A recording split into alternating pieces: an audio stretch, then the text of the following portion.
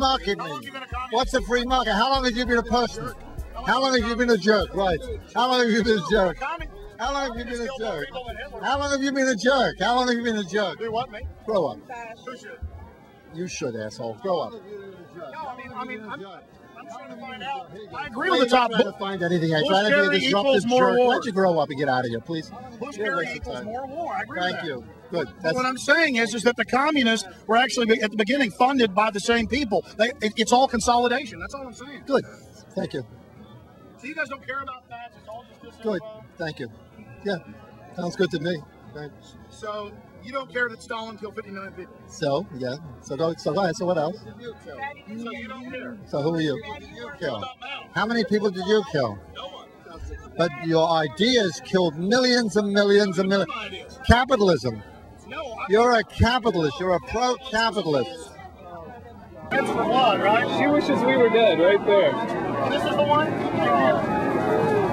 She's the one walking around saying she wishes we were dead. Replay it for yourself. She clearly says that too bad Stalin didn't kill us. So we see these communists down here who say Bush, Kerry both equal war. And we go, yeah, we agree with you. But why are you for communism? Because communism actually, as Professor Carroll Quigley at Georgetown, Bill Clinton's mentor, said, was a creation of the big banks to centralize governments and con the people into a movement for the population that was really for the establishment. And they began to threaten to want to kill us. Some of it we got on tape, some of it we didn't. Hey guys, how's it going? Tell us what you think about this. We're members of the Revolutionary Communist Youth Brigade. Tell us what you think. Say, man, if you want to talk to us, you gotta talk to us. Stalin, in other words. If you want to connect an interview, we can hook you up with our spokesperson. You're not allowed to, to talk yourself? If you want an interview, you should talk to the spokesperson. Well, have fun. So you so your leaders don't let you talk yourselves? They, they've never been to the Soviet Union, Poland, or anywhere in the Eastern Bloc. Look at them. They're like 18 and 20. Come on. And you got these old Why don't you talk to some mainstream Americans? Okay. Okay, we know where you're coming from. You're looking, you're looking to uh, No, we're to make people in Lima. No sir. We're not mainstream media. We're actually trying to just make a documentary about all the different views that are at the convention. And everybody's been real nice to us, but communists, they always flip out when we try to talk to them. So now it is becoming an issue with them because they're so ridiculous. Documentary on all views. You're very biased. Probably work for Fox. Yeah, I probably work for Fox. That's right. Okay, get You only knew how ridiculous that was. I've exposed George Bush for carrying out 9 11. I've exposed Bill Clinton. They all work for the globalists. And the globalists funded you little people. You guys need to wake up. Sir, a lot of New Yorkers have said, and the polls show 80% don't want Bush have the convention here, but they're doing it. And some people say that he's being opportunistic, uh, trying to associate himself with 9 11.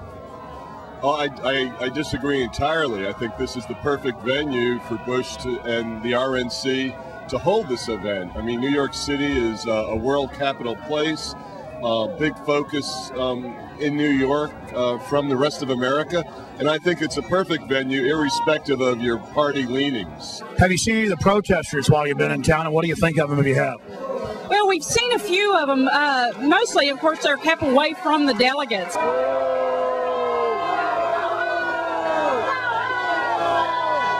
But to me, they're not New Yorkers. There's people that have come in and are trying to make New Yorkers look bad. There are a bunch of young kids. I'm wondering how many of those that are out there protesting, one, know what they're voting about, what they're protesting about, and two, are they going to even vote when it comes to the, the line? a lot of them are good people and, and have some legitimate issues. And I've seen people who aren't doing anything, whole streets just scooped up and arrested. And then they brought them out to the dock out there in an old condemned building with asbestos, it's admitted, and have 2,000 of them in there, no air conditioning and cages inside a, a kind of a Guantanamo camp.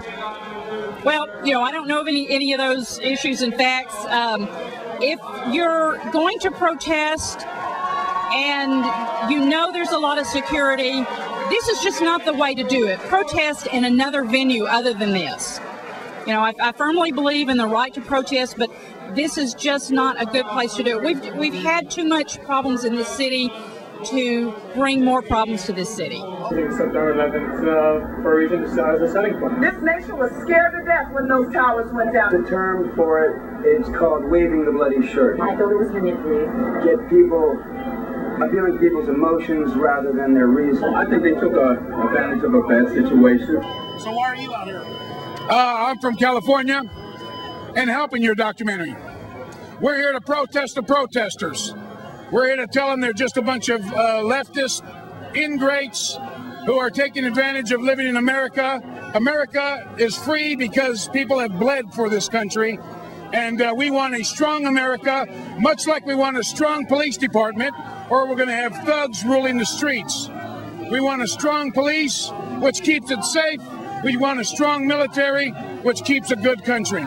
Yeah, the same Bible, the same Bible that the president is going to put his hand on that says no same-sex marriage. What are you doing hanging around a bunch of right-wing Christians? What, what, what are you guys doing hanging around us? This isn't Berkeley, pal. This isn't Berkeley, buddy. You can't spell Berkeley. How can they leave the borders wide open but then take our liberties? I'm all for closing the borders. Are you kidding? I'm from California. Our hospitals are costing us $80 for an aspirin because illegal aliens are going into our, our, our hospitals.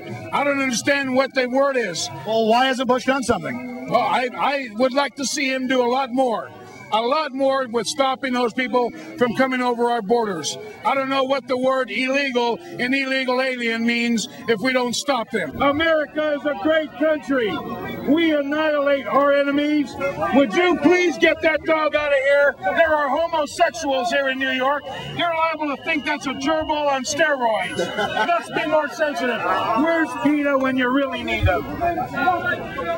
If those people are going to be in heaven back there, if those people are the ones who the ones who have armaments on their poster and everything, if they're going to be in heaven, I'm ready to go to hell. This this New York is a good example, folks, of what you're going to get in your city. This complete control grid, this locked down city where everything is commercialized. Whereas you did that bit on your show where they know what you're going to eat before you're going to eat it. You hear about those guys, thought criminals. They're going to blow up something. They have no weapons. Well, and this is the thing, Alex. A lot of these people down here, they want democracy, and it's amazing how they've been conditioned to ask for their own enslavement. They, they, it's all they know. They don't understand this is a republic. Look at all of this. I mean, you'd think these people were very informed. Explain the difference between a republic and democracy. Well, I mean, basically, the democracy is mob rule. And what these people don't understand is that if 51%, whether they're corporate, whether they're Bushites, whether they're Mexicans, decide their fate, then so be it. That's what they're asking for. We're in New York, ladies and gentlemen. Streets are jammed. My friend just called me, and he's right there with Michael Moore right now. I mean, all I want's 10 minutes. I want to Just say. tell me, and I mean I'll put it in. Okay, cool. All right, cool. That's awesome. Thanks. Michael Moore is inside there. Now we're going to answer a question. Did Michael Moore expose the truth about 9 11 or did he whitewash it?